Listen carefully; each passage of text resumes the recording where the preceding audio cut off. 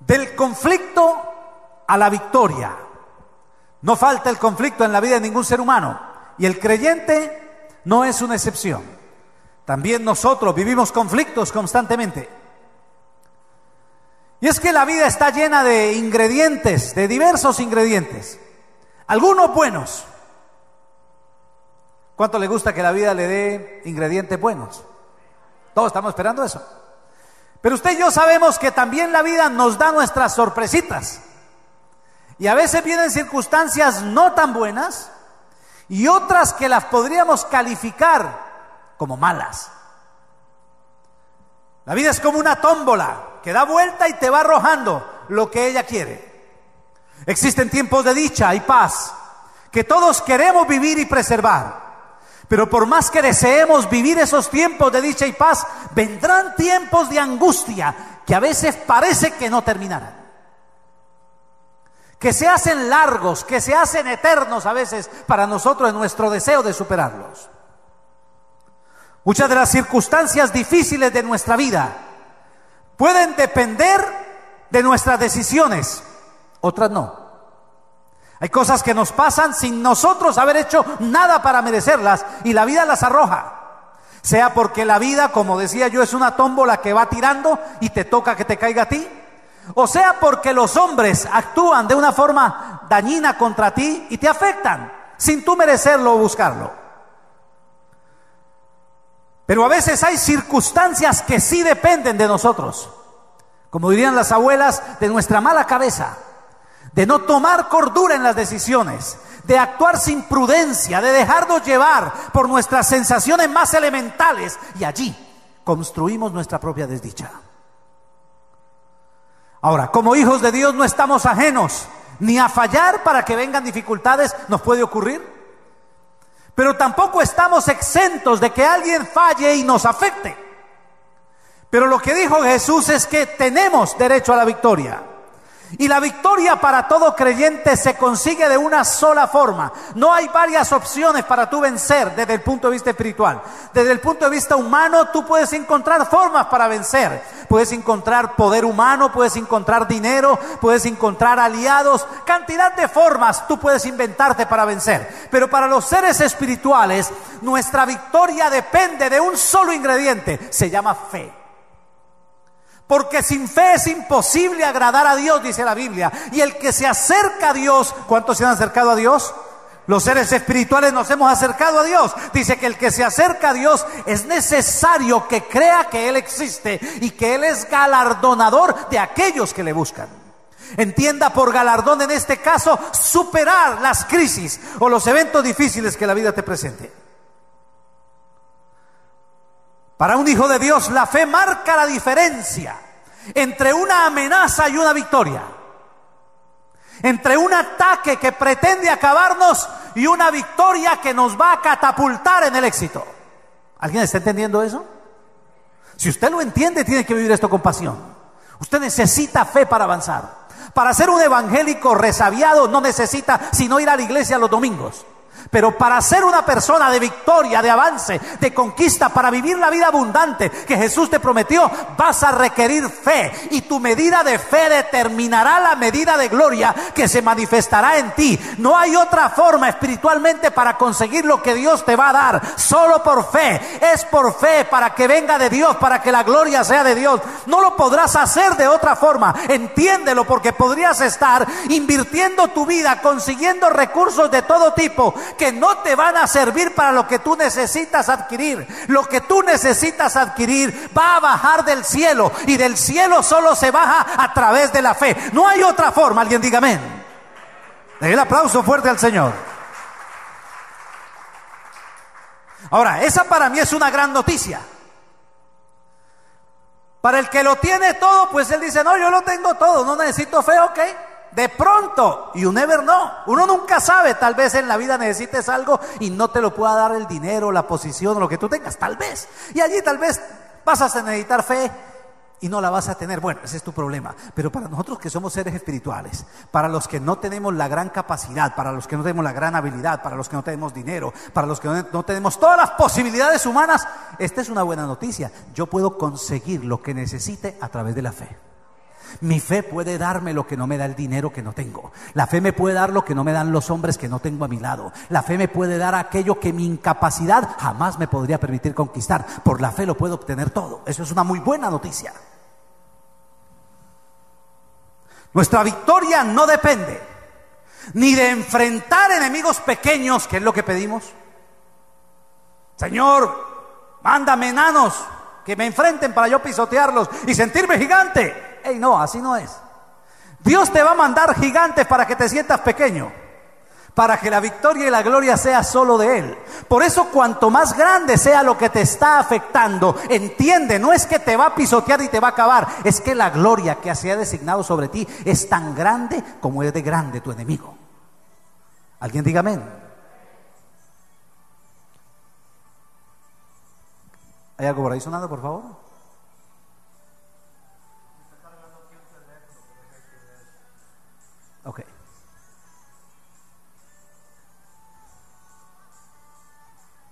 Gracias. Nuestra victoria no depende ni de enfrentar enemigos pequeños, ni de poseer grandes recursos y habilidades. Tu victoria, hijo, depende de tu fe. Cuán grande sea tu fe, así de grande será tu victoria. Cuán pequeña sea tu fe, así de pequeño será tu cristianismo. Dependiendo de tu fe, de eso dependerá tu gloria dependerá lo que Dios puede hacer contigo. Es por eso que si a ti la vida no te dio muchos recursos, si a ti la gente te ha menospreciado, si tú no eres el mejor de la clase ni has sido el mejor para otros, tienes una opción para cambiar la historia de tu vida. Llénate de fe y podrás llegar donde nunca pensaste que llegarías y donde los hombres juran que tú no vas a llegar. Tú lo vas a hacer por la fe. Jesús dijo estas cosas, os he hablado para que en mí tengáis paz. Note que la paz que Jesús anuncia es una, una paz que viene de Él. Es decir, la paz no es porque miro a mi alrededor y no tengo conflictos, no. La paz es porque lo miro a Él, miro los conflictos y lo veo a Él más grande que lo que me amenaza. Estas cosas os he hablado para que en mí tengáis paz. Vale la pena que hagas el examen de dónde proviene tu paz.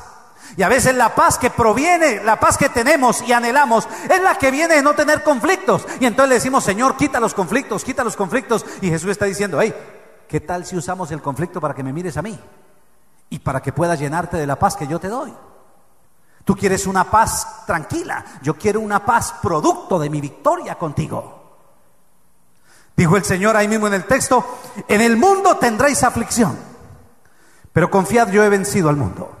En este pasaje, el Señor Jesús nos presenta a nosotros dos elementos que son parte ineludible en nuestro paso por la vida. Nadie, ningún ser humano puede eludir estas dos cosas. La primera es la aflicción. Entiéndala como oposición, como conflicto, como dificultad. Mientras estemos en la vida tendremos que enfrentar aflicción. Desde el niño que nace y si no le dan rápido de comer va a empezar a llorar porque la aflicción le comienza a molestar en la boquita el estómago, pidiendo que le den comida y de ahí para adelante comienza a sentir aflicción. Si el primer elemento que anuncia Jesús que va a haber en, nuestro paso por la tierra es la aflicción, el conflicto, no nos, debería, no nos debería extrañar cuando nos enfrentemos a circunstancias que producen aflicción. No deberíamos decir, hola, pero ¿qué le está pasando? Señor, ¿me has abandonado? Mira, ¿qué pasa, Señor? ¿Estará en pecado? ¿Estará en pecado el otro que está afligido? ¿Estará? ¿Por qué? Si la Biblia dice que es parte de la vida. ¿Alguien diga amén? El mismo Señor Jesús vivió aflicciones. Y aflicciones terribles. Él estuvo en Hexemaní y dijo una frase que es tremenda. Dijo, mi alma está triste hasta la muerte. Es decir, estoy que me muero de esta angustia que, que tengo hoy. Y es Jesús. Eso es para que los evangélicos que dicen, no, no puede estar triste un corazón que tiene a Cristo. Suena bonito la canción, pero no es verdad. No es verdad. También nos afligimos. También sentimos angustia, también sentimos que el gigante nos va a aplastar y a veces nos sentimos ya aplastados y pisoteados por él. Lo que no sabe el diablo y de pronto tú no lo sabes es que aunque estés aplastado, Dios te va a levantar de ahí, te va a hacer más grande que aquel que te trató de aplastar. Alguien diga amén.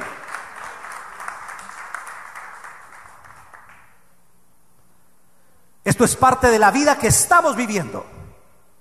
Afecta a todos los hombres. La aflicción le llega al rico como le llega al pobre. Le llega al blanco, le llega al negro, le llega al católico, al evangélico, al musulmán. No importa la posición social, no importa la posición económica. Todo ser humano mientras tenga vida está sujeto a aflicción.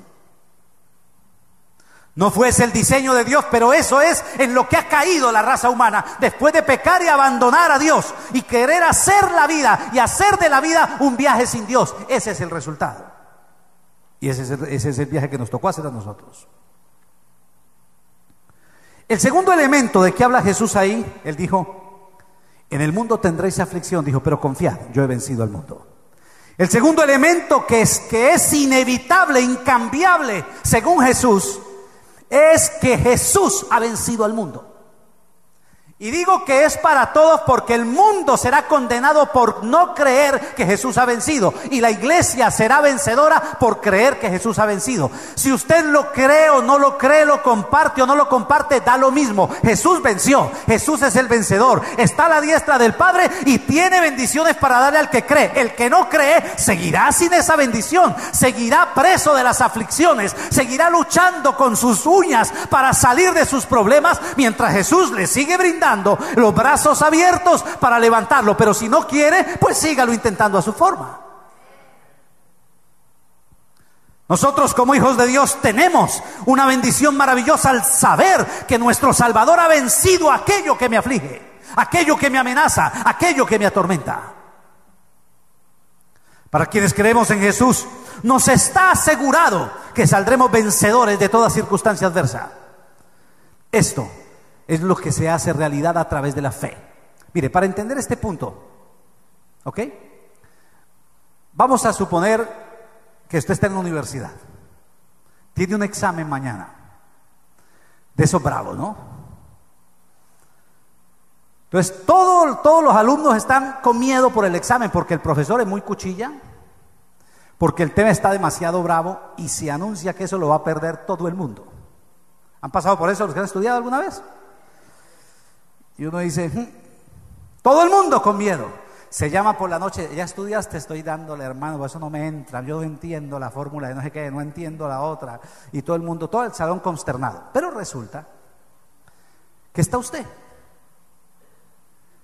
Vamos a poner un ejemplo, ¿quién? Fabio. Fabio es parte de, ese, de esa gente que va a presentar el examen.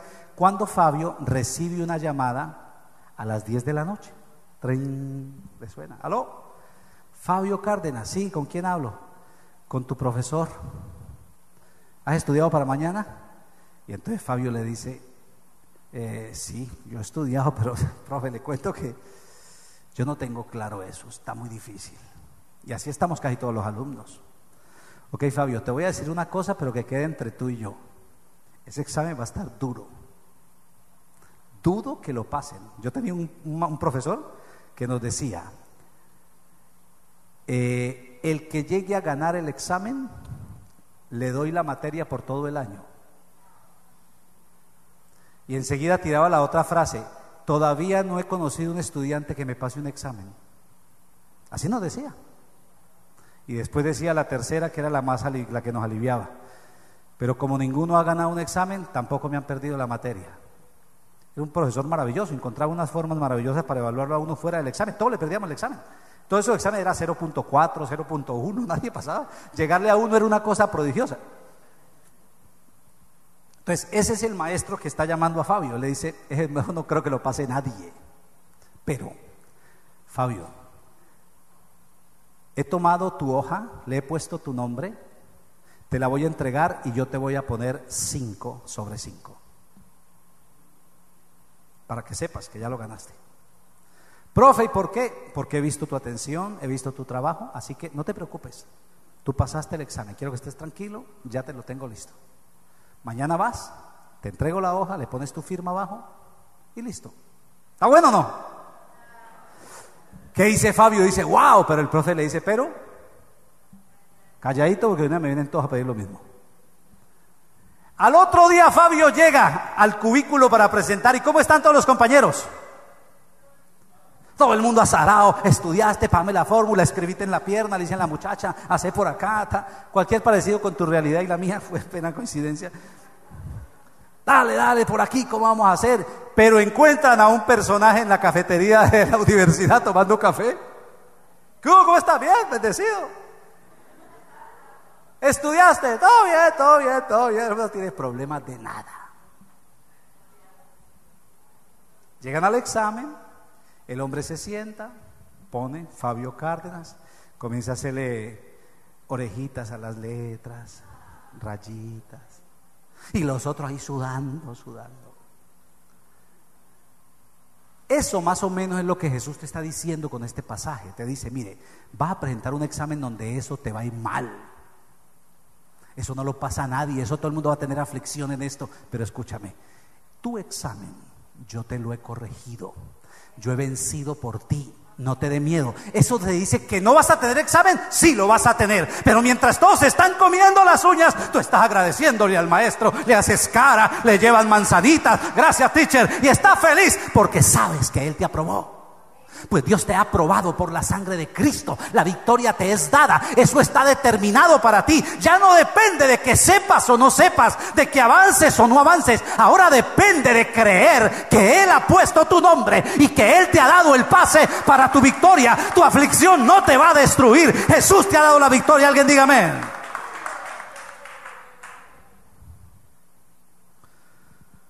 Para los que creemos en Jesús nos está asegurada la victoria. Yo no sé cuán difícil sea la situación, no sé cuán amenazante, no sé cuán cobarde pueda sentirme ante ella, pero voy a vencerla. Él prometió. Pero se necesita transitar el camino de la fe. Si él no cree, si él llega y dice, no, ¿sabe qué? Toma, yo lo voy a llenar porque pronto, ¿qué tal que el teacher me salga torcido? No, yo no le creo. ¿Ok? Cuando el profesor ve que aparece Fabio Cárdenas y un montón de mamarrachos ahí, lo llama y le dice, se lo iba a regalar, pero por bruto, mírelo, confirma con el examen que usted no pasa esto, chao, descartado. Tome su maravillosa nota de 0.3. Si usted trata de hacerla por Dios, usted desafía el amor y la gracia de Dios. Usted deje que la gracia le dé lo que la gracia le va a dar. No trate de portarse bonito ni irse para el examen bien vestidito como no suele estar. Vaya como ustedes que a usted se lo aprobaron por lo que él quiere hacer con usted, no por lo que usted va a hacer en el examen. ¿Alguien diga amén? Pero hay que caminar, diga conmigo caminar. Vamos a mirar cinco ingredientes para que la fe me produzca la victoria en medio de la aflicción. ¿Estamos de acuerdo? Si la estás viviendo, Dios te va a hablar. Si no la estás viviendo, guarda que te va a servir para mañana. Porque en el mundo tendréis aflicción. Cuando te venga una aflicción de aquí en adelante, diga, ¿qué era que me está pasando? Estoy salado. No, no está salado, está vivo. En la vida hay aflicción, pero usted la va a vencer. El primer paso para llegar desde una aflicción, un conflicto, hasta una victoria es este. Diga conmigo, la fe se recibe por la palabra. Ese es el primer punto que tú tienes que tener claro. Si lo que voy a obtener, que es mi victoria, se recibe y se obtiene por fe, debo saber dónde conseguir la fe. ¿Dónde conseguir la fe? Mire que es un arte saber dónde se consiguen las cosas. Pues claro, usted va a conseguir una, unas papas, usted sabe dónde ir. Pero hay cosas que uno no sabe. Hemos estado ahora con lo de, con lo de video y sufrimos porque no sabemos dónde conseguir lo que necesitamos. Hay que pedirlo por Amazon. Amazon no lo tiene, pero Amazon sabe dónde está. No lo compra y le pagamos. Pues resulta que en la vida espiritual es lo mismo. Tú tienes que saber dónde está lo que estás buscando. Y si lo que necesitas es fe, la Biblia dice que la fe se obtiene exclusivamente por la palabra. Romanos 10, 16 al 17. Mas no todos obedecieron al Evangelio, pues Isaías dice, Señor, ¿quién ha creído nuestro anuncio? Así que la fe es por el oír y el oír por la palabra de Dios. Escúcheme. La fe se origina por el oír y es por el oír en la palabra. ¿Qué significa esto? No significa que leyendo la Biblia me venga fe, no. Se requiere oír la palabra con un oído espiritual, no con un oído humano. La palabra de Dios despierta un oído dentro de ti que no es el humano, no es el oído técnico, no es el oído de la doctrina, no es el oído de la teología, es el oído que te anuncia el corazón de Dios, que te dice lo que Dios piensa de ti, que te dice lo que Dios piensa de tu problema. Por eso Jesús dijo, el que tenga oídos para oír, oiga. Porque hay gente que escucha la Biblia, pero no tiene un ápice de fe. ¿Cuál es la razón? Porque no le están oyendo con el oído correcto. La están oyendo con el oído del intelecto. Saben doctrina, unos catedráticos, pero no son capaces de solucionar un problema de fe jamás. Se saben toda la Biblia, pero un perro le ladra, pastor, ayúdeme. Estoy en aflicción. Y usted puede llamarme a mí, para eso estoy yo. Pero si tienes tanto conocimiento, pues deberías servirte para algo. No simplemente para chicanear con los otros y decir, eh, yo sé de esto, mire, sabe la doctrina. Eso no es para eso, la vida espiritual no es para eso. Lo usan los acomplejados para eso, pero espiritualmente no es para eso. La palabra tiene como objetivo es darle fe al hombre. Fe, fe, fe. Eso es lo que Dios quiere darte. Necesitas escucharla con tu espíritu más que con tu, con tu mente. Se requiere un oído espiritual, dispuesto a lo espiritual. Ese oído espiritual que, que, oye la palabra para que le produzca fe, debe batallar con las expectativas humanas que hay dentro de ti, por aquello que has oído y que has almacenado y que se opone al concepto de Dios. Yo puedo pararme aquí y enseñarte verdades de la Biblia, verdades de la palabra, pero si tú no dejas que esa palabra desplace tus conceptos mentales, no produce fe. ¿Me está entendiendo eso?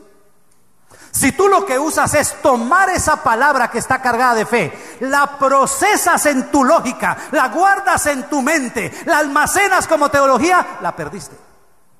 Perdiste todo. Al contrario, te va a servir de peso interno, porque cuanto más palabra almacenada tienes, más culpable eres de no hacer lo que debes hacer. Y dedito así, diga conmigo así, achacha.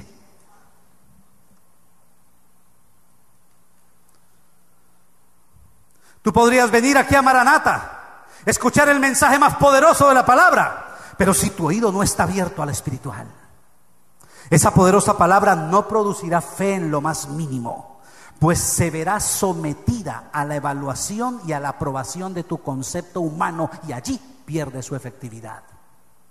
Porque la palabra de Dios para que sea eficaz requiere llegar a un corazón que cree, no a una mente que evalúa y aprueba. Y hay evangélicos mal, malcriados espiritualmente. Se sientan a oír un predicador. Me parece, estoy de acuerdo. Sigue haciendo así para que veas que no sacas un ápice de fe de ese que está hablando. Mientras que póngame un hombre, una mujer humilde, escuchando a un, a un hombre predicando la palabra sin muchos conceptos. Suba para arriba, baje para abajo, hablando las mismas cosas de siempre. Pero la actitud del que está sentado ahí es espiritual de recibir. Llega el momento en que una sola palabra, un solo gesto, una sola actitud le revela el poder de la palabra para él. Y viene la fe, porque no está en la capacidad del que predica, sino en la actitud del que recibe. Las personas que dicen, no, ese predicador no me gusta, no tiene buena palabra, debe ser que tú tienes mal oído mejor. Porque yo he escuchado hasta predicadores de sectas predicar cosas que me han hablado a mí, a mi vida. Dios la ha usado. Y si Dios fue capaz de usar un gallo para hablarle a Pedro, ¿por qué no puede usar un bobo de una secta para hablarme a mí? ¿Alguien dígame?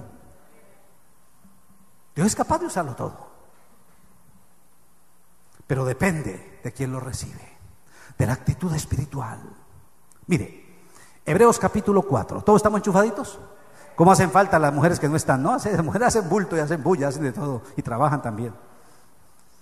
Hay poder. Eh, acuérdense de lo que les dije en, de lo que les dije en Samuel 2016, que a papá lo sacaron así y le dijeron, vea, se le arrodillan a los pies.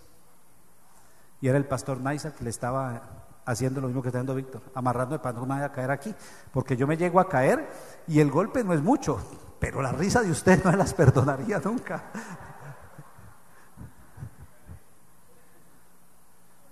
Hebreos capítulo 4, versículos 2 al 3. Oiga esto, oiga esto, abra su entendimiento espiritual, porque también a nosotros se nos ha anunciado la buena nueva como a ellos. Pero no les aprovechó el oír la palabra por no ir acompañada de fe en los que la oyeron. O sea que una persona puede oír la palabra y otra persona puede oír la palabra. Los dos están sentados en la misma iglesia, reciben la misma palabra, pero en uno se le ve provecho y en el otro nada. ¿Cuál es la razón? Si están recibiendo la misma palabra, la razón es que uno la oye con fe y otro la oye con soberbia. Eso es lo que impide que la palabra te produzca fruto. Nos dice la palabra que ella sale de Dios. Sí, la palabra viene de Dios. Y viene para producir en nosotros bendición, pero carece de provecho cuando no es recibida con una actitud de fe. Y para que se reciba una palabra con fe se requiere humildad, y eso lo vamos a ver ahora. Todos los conceptos que debaten en tu cabeza no es otra cosa que una demostración, una exhibición del orgullo mental que tienes. De creer que tú sabes más que Dios y que el que está predicando. Y tal vez tú sabes más que el que está predicando, pero no más que Dios. Si Dios dijo algo, eso se va a cumplir. Él es Dios sobre todas las cosas. Alguien diga amén.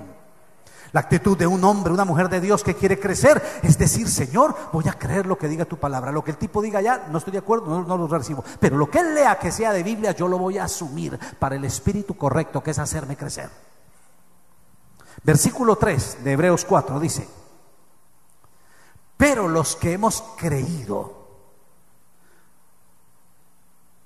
hemos entrado en el reposo. De la manera que dijo, por tanto, Juré en mi ira, no entrarán en mi reposo, aunque las obras suyas estaban acabadas desde la fundación del mundo. Note que aquí dice que hubo gente que no entró en el reposo por no poder recibir la palabra adecuada. Porque una de las cosas que produce la palabra de fe en el corazón del hombre es reposo. Note que no es un descanso, sino un reposo. Diga conmigo reposo. ¿Qué es reposar? Es que tú tienes que ir de aquí a allá. Pero cuando llegas aquí estás cansado, fatigado, ¿está bien? Entonces, ¿qué dices tú? Le dice al otro, déjame yo reposo un ratico. Y se sienta ahí toma aire, toma agüita y vuelve y se levanta a ir caminando. Pues eso es lo que Dios hace con la palabra. Tú estás caminando desde una adversidad, un conflicto hacia tu victoria. Lo que Dios hace con la palabra es darte un reposo. Hey, tranquilo, toma airecito, tranquilo. Padre, o sea que yo llego a la casa y el problema no está. No, no, es que ahora vas a seguir caminando con nueva fuerza hasta que llegues a donde tienes que llegar. Eso lo vas a vencer. No te lo voy a quitar, porque no se trata de evitarte el esfuerzo, se trata de generar en ti como digo yo, el más alto potencial y eso lo lograremos reposando en la palabra y caminando en fe. ¿Alguien dígame? El oír con fe genera reposo. Un reposo no producto de la ausencia del problema o del conflicto, no, sino de la palabra que Dios ha dado a mi favor. Eso me da seguridad, me da tranquilidad. No se trata de pasar horas en internet oyendo todo tipo de mensajes. Se trata de saber escuchar con el Espíritu Santo lo que Dios me quiere dar. A veces queremos oír más y más y más y más. ¿Para qué oyes tanto? ¿Por qué no pones en práctica lo poquito que has recibido? Tanto saber, quiero estudiar, voy para allá. Hágalo primero. Vaya lo que le enseñaron. Usted sale de aquí, salga con tarea a vivir eso. Voy a entrar a las internetes a buscar palabras reveladas. No usted necesita palabras reveladas, usted necesita un corazón obediente, lleno de fe, que puede ir a hacer lo poquito que le enseñan aquí. Tal vez usted es muy grande y esto es muy poquito, pero póngalo en práctica. Que si usted tiene fe grande, usted toma esta pequeña semilla y la hace crecer. Alguien dígame.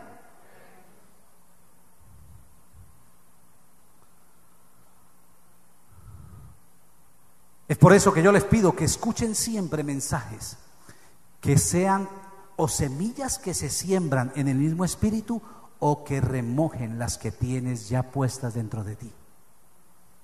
Por eso que yo le digo, escuchen Maranata. No porque seamos los mejores predicadores del mundo, no, hay otros muchísimos mejores que nosotros, pero usted necesita regar con la misma semillita, lo mismo, la misma. Aquí te enseñan una cosa, vas y oyes a Bertucci, la otra, la misma cosita. Oye a Hugo, la misma cosita. Papá la misma cosita. Oye al pastor Arada, la misma cosa. Entonces, se te está regando con una semilla igual. Tu tierra va a dar fruto. No sea que después comiences a mirar el terreno y decir, esto es una uva, esto es una manzana, esto qué será. No sabes ni qué tienes al frente. Porque has regado con demasiadas semillas diversas. La palabra de Dios es el contenedor donde Dios guarda la fe. No existe un método, un mecanismo donde encontrar fe. No te la da un pastor a rungirte. No te la da un predicador que te dice, venga, yo te voy a dar fe. No te la da un congreso. Te la da el contacto humilde con la palabra de Dios. Ir a ella para que Dios te hable. Tener un contacto personal con el que escribió la Biblia es lo que te genera fe a ti. Es el primer paso apenas. Diga conmigo, primer paso. La fe viene por la palabra. Segundo paso, diga conmigo, la fe trabaja por el amor. Es decir, la misma fe que te va a llevar desde una adversidad a una victoria, opera con un combustible, se llama amor. Si no le pones amor, la fe no sirve. La fe se va a quedar sin poder trabajar para ti. Se requiere amor para que la fe produzca el fruto. Gálatas 5, 6 y 7 dice, porque en Cristo Jesús ni la circuncisión vale algo, ni la incircuncisión, dice, sino la fe que obra por el amor. La fe no está cimentada en las normas. La circuncisión, la no circuncisión, hacer esto, no hacer lo otro, no. La fe está cimentada en el amor. Es por eso que la gente más religiosa, llena de, más normas, son la gente de menos fe. Mientras que la gente que tiene fe, analícela, es gente que ha aprendido a amar. Se dejan amar por Dios y dejan que el amor fluya. El ejemplo más elemental para entender esto es el ejemplo del matrimonio. En un matrimonio tanto el esposo como la esposa tienen obligaciones. ¿Estamos de acuerdo? Si no tiene obligaciones, usted está en una relación dañina, malsana. Todos dos tienen que tener obligaciones. Ahí compártansela. Entonces, el formato habitual es, el hombre trae la comida y la mujer la hace. Está hablando en términos muy, muy coloquiales, ¿no? Para entender, pero tienen que haber responsabilidades. Ok. Esas responsabilidades se pueden hacer de dos formas, o por ley o por amor. Si se hacen por ley, entonces el hombre encuentra la forma de manipular y obligar a la esposa para que haga lo que tiene que hacer. Y entonces le cierra esa tarjeta de crédito el sábado para que no la toque, para que ella se vea obligada a hacerle la comida todos los días. Entonces el hombre no dice que la esposa lo ama, sino que dice, la tengo controlada. Yo soy un varón. Ok. Que quede claro, varón, que no te aman. Te obedecen por conveniencia, pero no te aman. No te engañes. Dedito así. Pasa al revés también. La mujer tiene un hombre. Ese hombre debe ir a trabajar para llevarle su alimento. Ok. Ese hombre puede hacer eso por ley, porque si no lleva el alimento, le cierran la, la despensa por la noche. Entonces el hombre le promete blusas, los días que hace mercado, ese día le abren la despensa con gusto. Cuando necesitan de él, ese día le, salen con baby doll. Entonces el hombre dice, la tengo rendida. No, no la tienen rendida. A ti te rindieron, viejo. A ti te dominaron. No la tienes rendida. Te están usando. Te están sacando dinero. Tú estás pagando por sexo en casa. Eh, no, eso salió muy duro, ¿no? Pero diga, pero es verdad. No los noto muy convencidos. Escúcheme. Tanto el esposo como la esposa deben cumplir con lo que deben aportar para su casa, pero pueden hacerlo por ley o por amor. La mujer que tiene que levantarse a hacer la comida porque si no él no le va a dar para la blusa, ella no ama a ese hombre. Ella ha establecido un negocio donde ella saca producto y ella hace comida para que él le dé la blusa.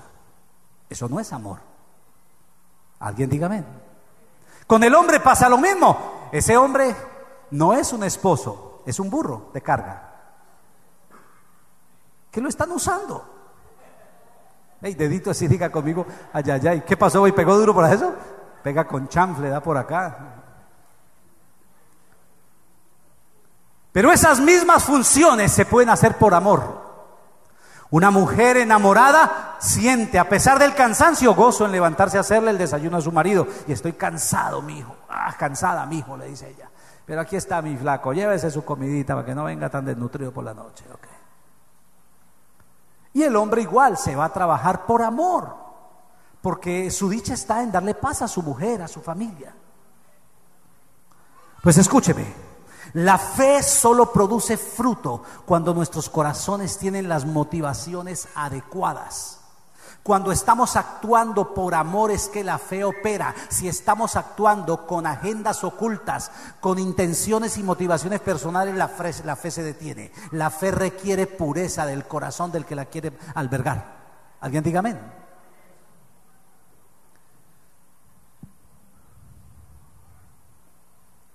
Esta es la razón por la que Satanás siempre tratará de envenenar tu corazón para robarte el amor, porque Satanás sabe que si te roba el amor no tienes dónde depositar tu fe. ¿Alguien, está ¿Alguien está entendiendo lo que Dios le está enseñando y le está diciendo para su vida cotidiana? Las intenciones del diablo no es solo moverte hacia el pecado, es lograr que tu amor se seque que tu amor disminuya, porque sabe que si no hay amor suficiente, no habrá fe suficiente para poder salir del embrollo del que estás. Satanás siempre tratará de envenenar tu corazón con amargura, con rencor, con malas motivaciones, no solo por el daño que le hace a tu alma, sino porque hace inoperante tu fe. Ese tipo de sentimientos te roban lo que Dios te va a dar porque no permiten que haya la fe para obtenerlo. Mire lo que dice ese mismo texto de Gálatas, versículo 7. Dice, vosotros corríais bien. ¿Quién os estorbó para no obedecer la verdad? Notemos que la desobediencia es el fruto de los estorbos que Satanás siembra en nuestro corazón. Estos van a atentar directamente contra el amor genuino. Cuando tú no tienes un amor genuino por lo que Dios quiere hacer en ti, la fe se pierde. Satanás ha logrado su objetivo. No podremos correr bien hacia nuestra victoria si perdemos el amor. Es por eso que se nota que la gente de menos fe son los de doble ánimo. Y aquí voy a hablar clarito para que me entiendan. Hay gente que necesita de espuma para sentirse en fe. Ojo con esto, padres. Si su hijo no da fruto de su inversión que él hizo en Venezuela, no lo vuelva a mandar. No lo vuelva a mandar. Porque usted no le va a costear vacaciones a una persona que sale de aquí, usted le invierte dinero, llega llorando por Dios y enseguida el otro domingo no viene al culto. No es buena tierra para que le siga sembrando eso. Tiene que sembrarle otro tipo de semilla con un poquito de más eh, cardos y espinas. ¿Alguien me está oyendo? No, ya, ya me tiré el cultico. Porque mires, escúcheme, no podemos andar en el doble ánimo. Hoy nos queremos devorar al mundo y mañana nos pica un mosco y ya estoy aburridito. ¿Qué es eso? Con ese tipo de gente no vamos a conquistar nada, nada, nada. Para conquistar necesitamos gente aguerrida, que tenga pasión en los días buenos y en los días malos, que salga en invierno, que salga en verano. Ahora los demonios deben estar planeando dejarte en casa en verano. Entonces en verano no se va a salvar gente, en verano el infierno va a cerrar, no va a pasar eso. Se requiere constancia. Perdemos el amor por Dios. Nos lo roba cualquier cosa. Es por eso que no tenemos fe. Hablemos de cómo el diablo nos roba el amor. Por ejemplo, si tú no amas a tu hermano, si tú no amas a tu enemigo, eso lo dijo Jesús, tu fe no va a dar fruto, ni va a producir nada que corresponda a los frutos de Dios en ti. Solo un corazón limpio puede ser el terreno donde la fe fructifica. No puedes darte el lujo de tener un corazón cargado de amargura, de rencor, porque esto, antes que hacerle daño a otro, te hará daño a ti. Segundo, te, te va a absorber la poca fe que tengas. Te roba la fe. Alguien espiritual no es alguien que sabe la Biblia. Alguien espiritual es alguien que sabe amar. No nos confundamos. No es alguien que sabe la Biblia. Alguien espiritual es alguien que ha desarrollado amor y, la, y el nivel espiritual tuyo está medido, no por el nivel de conocimiento que tengas de la Biblia, ni por la forma como te parezcas a los evangélicos habituales. Tu nivel espiritual está medido por tu capacidad de amar. Cuanto más ames, más grande eres en el espíritu. Cuanto menos ames, eres un pigmeo, un enano. Así tengas caparazón grande. Porque la religión nos da caparazón grande. Si entiendes esto, te darías cuenta por qué antes de que haya haber un avance espiritual en tu vida, Satanás va a tratar de dañar tu corazón. Va a tratar de sembrarte rencor. Va a tratar de dañar en tu alma el amor genuino de Dios para que no se albergue en ti la fe que le va a propiciar al diablo un knockout fulminante. No te dejes engañar.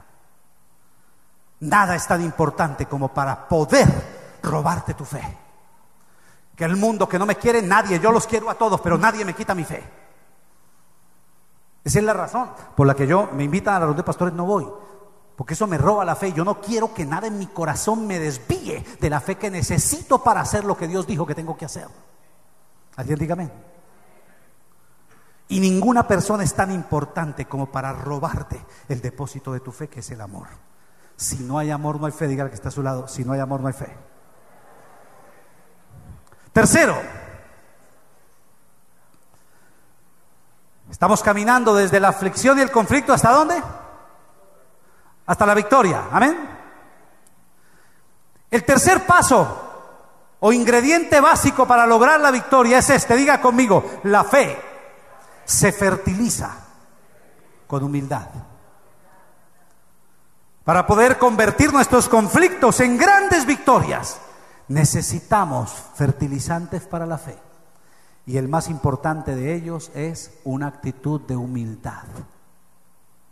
La fe no opera en un corazón activo, altivo. Muchos de los conflictos del altivo son resultado de su soberbia. Por eso la fe de su corazón terminará secándose. No te dejes engañar porque una persona, un pastor se vea muy espiritual, por sus, porque llena un estadio, porque se ve con dinero, se ve lleno de oro, eso no marca su espiritualidad. Pero si es humilde en su actitud, esa puede ser una gran persona de fe. La humildad es el resultado de renunciar antes que nada. La gente que cree, no, es que la humildad es renunciar a mis riquezas. Yo no ando en ese carro último modelo, yo voy a andar en una carcacha del año 40 porque yo soy muy humilde. De pronto el carro viejo te puede servir para ocultar la soberbia que llevas. De eso no es la humildad. Es más, la humildad tiene más valores en el que tiene algo. Ey, ey, ¿alguien entendió eso? Que yo soy muy humilde porque como en un restaurante donde el plato de comida vale un dólar. No, no eres humilde, es que no tienes más. Si no aguantarías hambre. La humildad bonita es la que el, que tiene para irse a comer al Hilton y por estar con un buen amigo se mete a mesa larga y come ahí y no se siente menos. Pero escúcheme, la humildad no tiene que ver mucho con lo de afuera. Se puede ver en lo de afuera, pero se origina dentro. La verdadera humildad es renunciar a nuestra propia sabiduría a nuestro juicio, a nuestra forma de ver las cosas. Esa es la verdadera humildad. Una persona humilde es la que decide desplazar sus conceptos para albergar que otro tenga la razón. Y si es Dios, no lo alberga, está seguro que Dios la tiene. Y lo cree y desplaza todo lo que ha aprendido. La humildad se va a necesitar siempre. Es más, no crea usted que uno estudia la Biblia y cuanto más le estudia, pues más seguro está de conocer a Dios. Al contrario, cuanto más la estudia, más te conoces a ti mismo y más tienes que renunciar a lo tuyo, más. Cuanto más conoces de Dios, más tienes que ir renunciando a lo tuyo. Por lo tanto, debe haber más humildad. Esa es la razón por la que muchos predicadores empiezan muy humildes y usted lo ve a los cuatro o cinco años, son un verdadero mar de soberbia porque lo poquito que supieron ya desplazaron a Dios. De aquí para adelante, hasta aquí llegó Dios, de aquí para adelante yo sé más que Él. Y por eso sus ministerios se vienen a pique. Habacuc 2.4. He aquí que aquel cuya alma no es recta se enorgullece,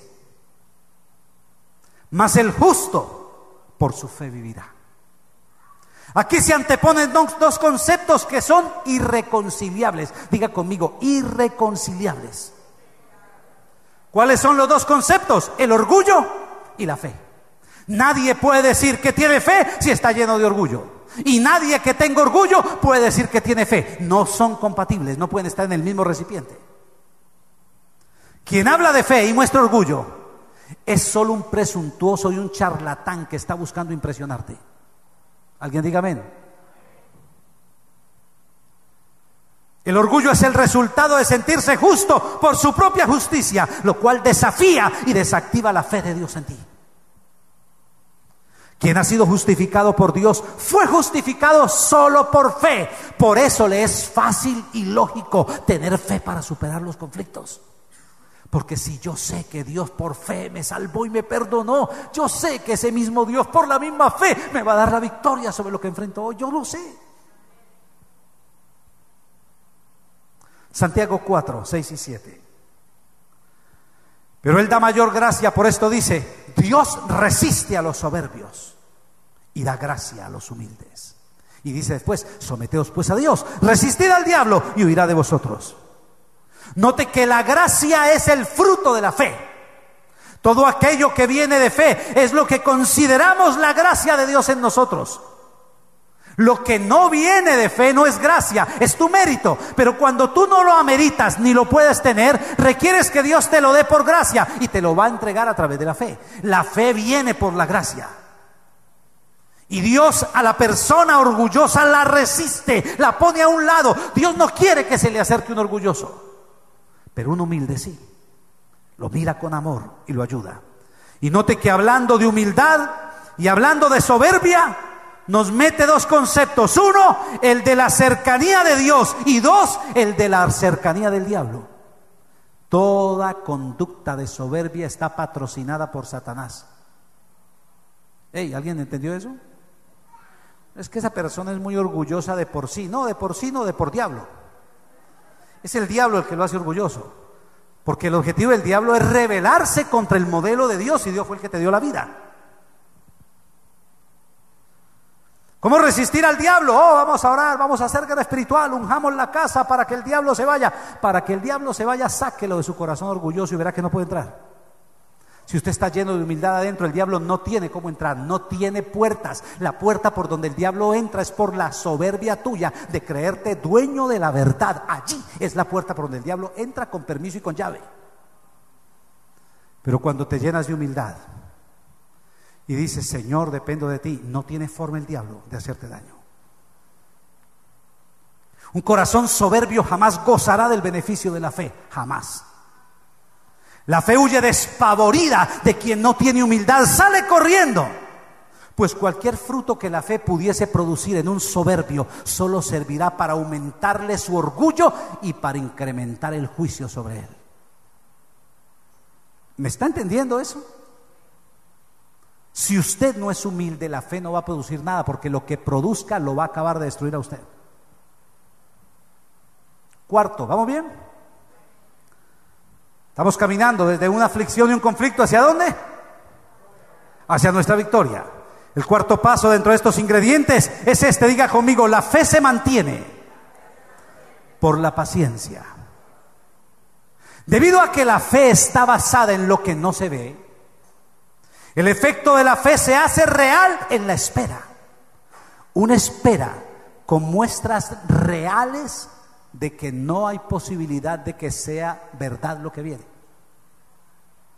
Es decir, la fe se mueve en un ambiente totalmente hostil a, tu milagro. La fe se mueve en un ambiente que te demuestra que no es posible, te demuestra que no se va a cumplir, te demuestra que es irrealizable, te demuestra que esto ya no tiene solución. Cuando ese ambiente sale a flote es porque la fe está caminando por debajo. Porque la fe solo sale y aparece cuando se demuestra que no hay forma de solucionarlo. Hebreos 6, 11 y 12. Pero deseamos que cada uno de vosotros muestre la misma solicitud hasta el fin, para plena certeza de la esperanza, a fin de que, nos, de que no os hagáis perezosos, sino imitadores de aquellos que por la fe, ¿y qué más? Y la paciencia heredan las promesas. Dos ingredientes, fe y paciencia. Esto es importante que usted lo sepa.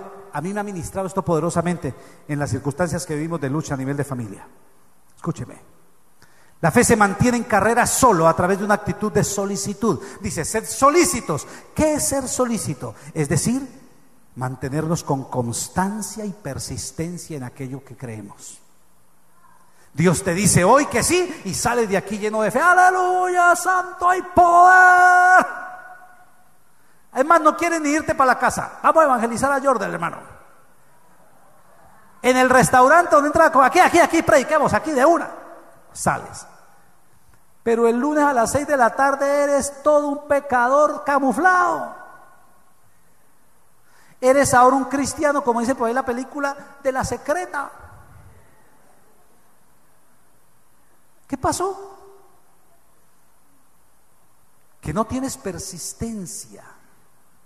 Y la persona que no tiene persistencia en su fe no podrá dar fruto. La fruto no opera por un, la fe no opera por, por, por, un, por un brillo que vino en un instante. ¡Pah! Me vino, llegó, aleluya. No, así no es. La fe viene a tu corazón y enseguida espere, papito. Dígale que está a su lado. Espere, papito. Le toca esperar. Dígale conmigo, le toca esperar. El doble ánimo aborta aquello que la fe engendra. Escuche esto, hijo, que le estoy diciendo. Tu doble ánimo aborta aquello que la fe engendra. Dios llama a don Fabio y le dice, yo voy a hacer una obra en ti y ahí tira la semilla. La fe te va a hacer real ese ministerio que Dios tiene, pero si tú no te mantienes firme y dejas, vendrá otro que se lo tome y se lo lleve por ti. Otro que no tenga tu capacidad, tu talento y tu habilidad se lo va a llevar porque tuvo persistencia.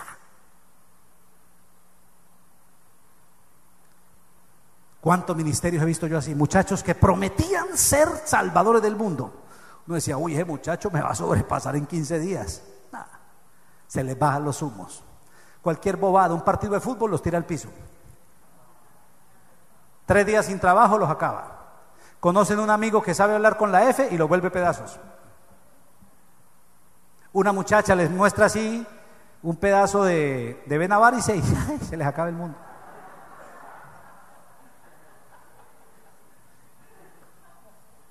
Y ahora, ¿qué hubo de la fe? Ah, esperando. No, esa no, usted no está esperando, usted no está esperando. Usted la dejó tirada. Esperando es que usted estuviera orando con la misma persistencia para obtener, porque no se trata de esperar, se trata de esperar en fe, se trata de seguir regando la semilla, se trata de seguir orando, se trata de seguir avanzando aunque no ves nada para que se haga realidad. Muchos están abortando lo que Dios ha determinado generar en ti. Y eso es peligroso.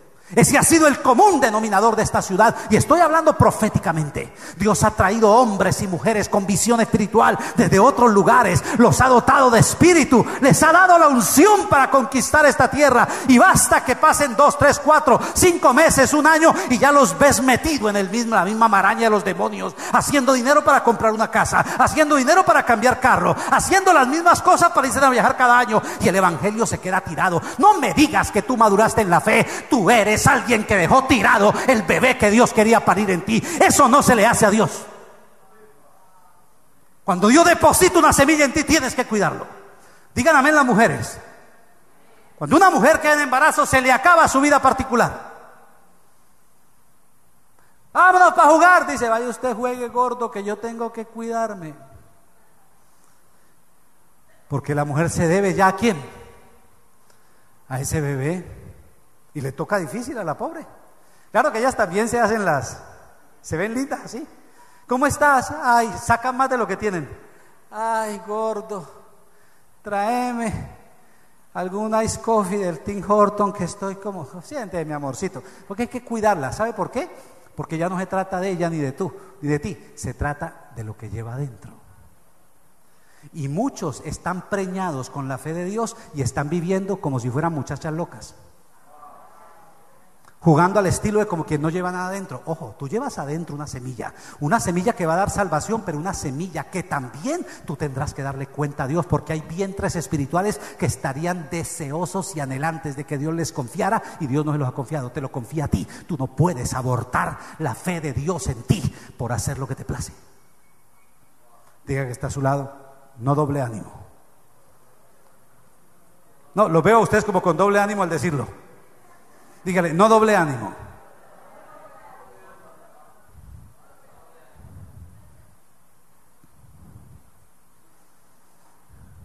Hoy tú crees por un milagro, pero aparecen las circunstancias contrarias que te llevan a abandonar la promesa. Y escúchame, escrito está que la fe sin obras se muere. Ah, que yo tengo fe que Dios va a hacer el vino, no trabaje para eso, para que vea lo que le pasa, va a llegar a viejo sin hacer nada. Un soñador, esa es la diferencia entre un soñador y un hombre de fe, o un soñador y una mujer de fe. La diferencia es que el soñador se queda esperando que pase mientras sigue su vida normal, mientras que el hombre de fe cambia la estructura de su vida porque sabe que Dios va a hacer algo. Cambia su forma de orar, su forma de vestir, su forma de actuar, comienza a verse como Dios dijo que él es. El camino de la fe está lleno de aparentes negaciones y de otra palabra que, somos, que es muy importante tenerla. Diga conmigo, dilaciones. Diga conmigo esa palabra, dilaciones. No estamos hablando de Dylan, tu hijo. Dilación es postergar, es espera. Hay cosas que no llegan ahí mismo, hay cosas que se dilatan. Pero escúchame, tú necesitas aprender a negarte a ti mismo y aceptar que hay cosas que estás esperando y que todavía no se ven. Por eso es la fe y que vas a necesitar seguir esperándolas en fe. El fracaso siempre será el fruto de la pereza y del abandono del que tiene doble ánimo. ¿Alguien entendió eso? ¿Pereza para trabajar? Yo no quiero que ustedes vean gente perezosa. Yo no consigo. ¿Y sabe quién les pone el, quién les pone el modelo? No lo voy a poner yo. Digamos que yo soy el más perezoso de esta iglesia. Pero el modelo, ¿quién lo pone? Los que tienen dos hijos y trabajan como locos para el reino. Esos ponen él modelo. Aquí tengo parejas que tienen dos niños y trabajan como locos, son los primeros que llegan, están haciendo, están haciendo de todo. Y apenas, no, yo no puedo, ¿por qué? Porque tengo que cortarme las uñas. No, usted no califica para el reino. Usted está como un parásito espiritual, así no es. Este, el reino lo hacemos gente ocupada que decidimos ocuparnos en lo mejor. No gente desocupada, porque si es para desocupados, entonces espera que Dios te quite el trabajo y sirves. Pero no es eso lo que Dios quiere. Dios quiere que en medio de nuestras ocupaciones tomemos la mejor parte para Dios, para hacer lo que Dios dice. Es por eso que estoy dispuesto, yo estoy dispuesto. Si me toca en medio de las obligaciones y de las, condiciones físicas que tengo que tener por un año, estoy dispuesto a levantarme a las 5, orar con ustedes por Periscope. Si lo que necesitan es quien los empuje, yo les sirvo de carreto, yo le empujo. Yo le sirvo de burro para empujarlo. Pero se necesita que usted llegue a otro nivel. Yo no estoy contento que usted venga el domingo aquí y traiga los diezmos. Dios no me mandó a recoger sus diezmos. Dios me mandó a llevarlo a usted a la estatura de Cristo, en el trabajo del Espíritu Santo. No puedes dejar en la mitad del camino lo que Dios está haciendo en ti. Hebreos 6, 13 al 15. Pero cuando Dios hizo la promesa a Abraham, no pudiendo jurar por otro mayor, juró por sí mismo, diciendo, de cierto te bendeciré con abundancia y te multiplicaré grandemente. ¿Cuánto le gustaría que Dios le diga eso? Ya se lo dijo. Porque en Cristo hizo todo eso.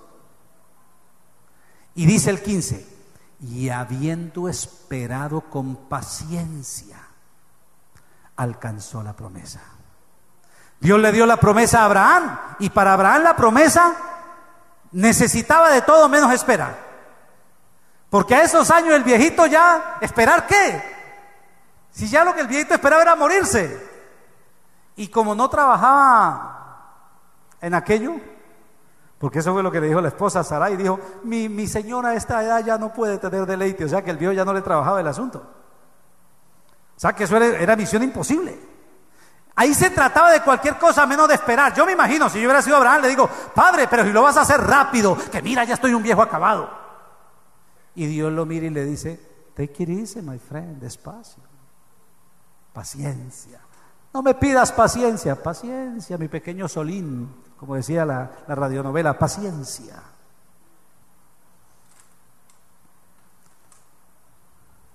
Abraham es el padre de la fe.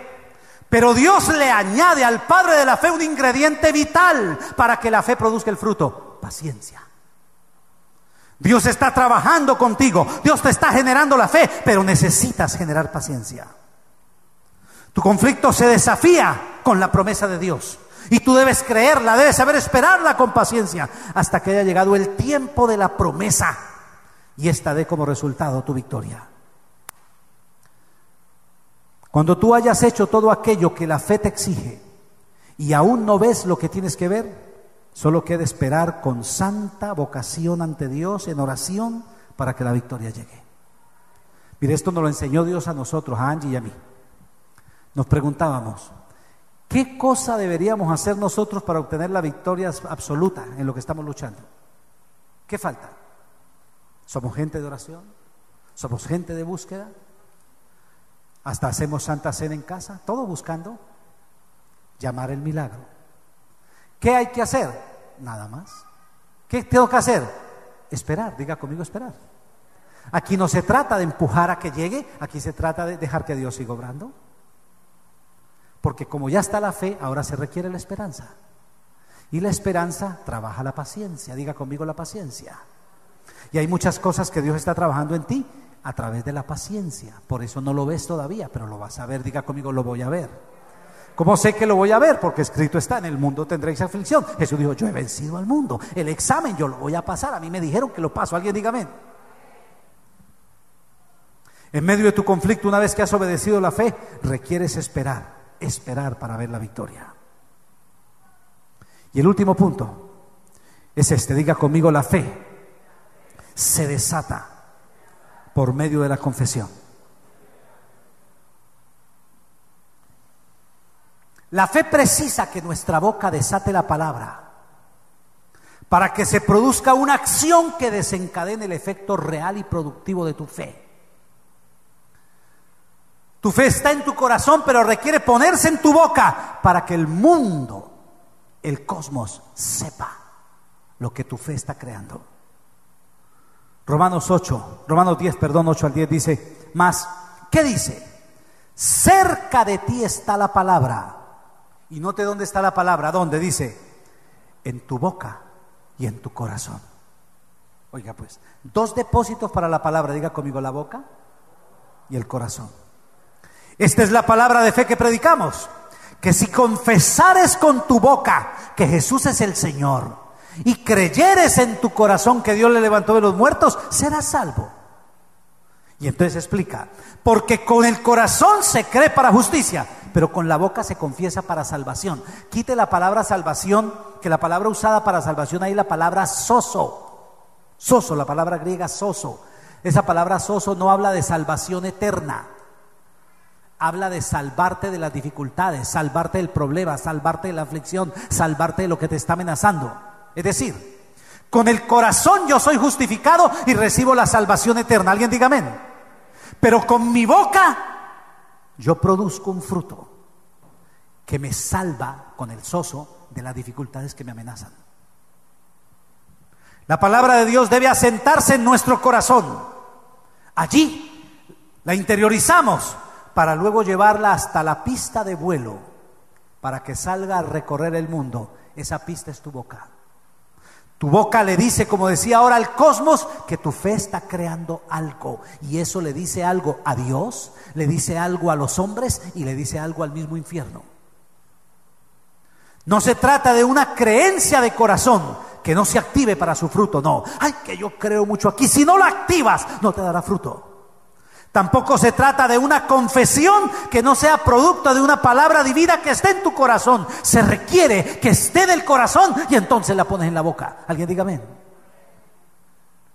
Diga conmigo los dos ingredientes. El corazón y la boca. Aquí lo crees, por aquí lo hablas. Se requiere el, proceso completo de recibir la palabra en el corazón y echarla a volar a través de la confesión. Solo así saldrá, dice la palabra, y no volverá vacía, sino que cumplirá el objetivo para lo cual Dios la ha enviado. Hay mucho cristiano lleno de palabra adentro, pero no hablan como si la tuvieran. Cristianos que creen en la salvación y dicen, esta vida tan dura, ¿qué salvación me está hablando usted? Pura religión. ¿Pero qué me dice que la vida es dura? La vida no es dura, la vida es una bendición de retos por superar. Por eso estamos en Jesús, alguien dígame. Ay, que a mí me tocó muy duro. ¿Qué va a hablar tonterías? ¿Qué duro? Más duro le tocó a Jesús y no dijo nada. A usted le tocó fácil, usted no tocó ir a la cruz para que lo salven. Ustedes la están regalando. No se llama el agradecido. Tocó fácil. Pastor, usted no sabe cómo fue mi vida. Ay, yo sé cómo fue la muerte de Jesús y fue más dura. Échale para adelante. Él nos está regalando todo y no dice nada. Seamos del estirpe de Él, del mismo linaje de Jesús. ¿Alguien diga amén? Necesitamos aprender a hablar, a hablar de acuerdo a lo que creemos. Porque escúcheme, de la abundancia del corazón habla la boca. Esta vida tan dura, eso hay en tu corazón, eso hay en tu corazón. Estoy pelado, eso en tu corazón, no en tu bolsillo, en tu corazón. Pastor, pero ¿qué voy a decir si es la verdad? Es la verdad de tu carne, porque la verdad de Dios es otra.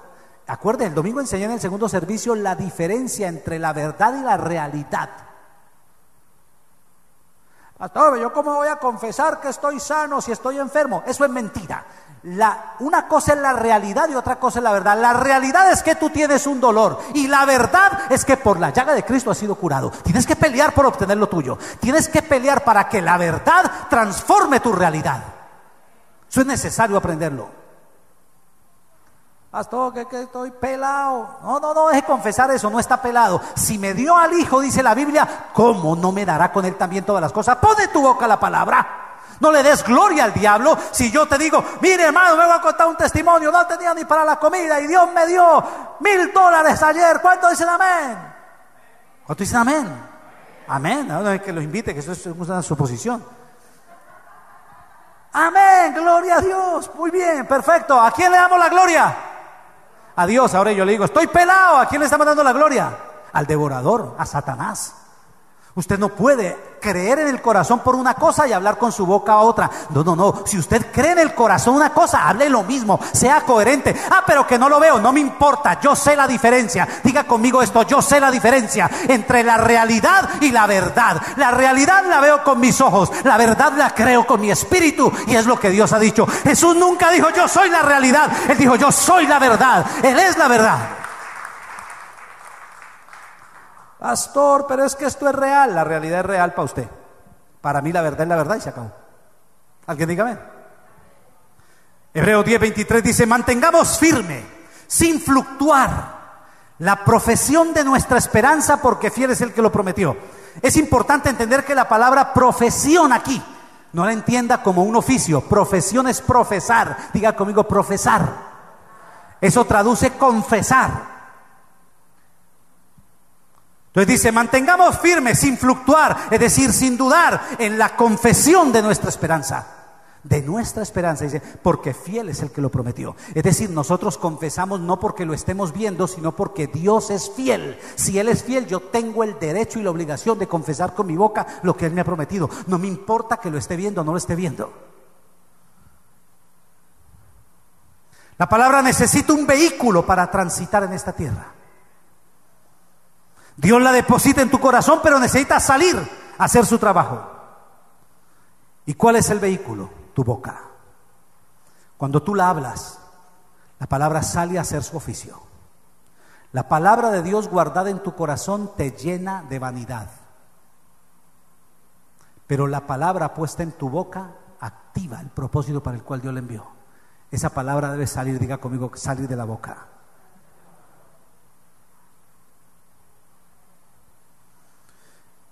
Ya vamos terminando, Hebreos 11.3. Dice, por la fe entendemos haber sido constituido el universo por la palabra de Dios. De modo que lo que se ve fue hecho de lo que no se veía. ¿De dónde se hizo todo lo que, lo que, hoy, lo que hoy vemos? De lo que no se veía.